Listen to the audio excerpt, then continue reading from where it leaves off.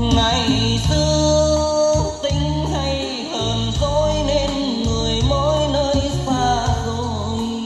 Vẫn vương tầng phút giây êm đềm cũ người ơi kỷ niệm hai đứa anh xin em tìm làm quê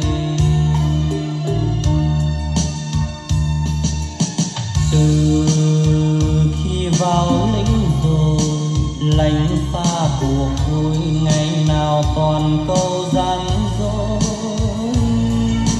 Tôi mãi chưa quên lời ai nói yêu tôi rồi, mà lòng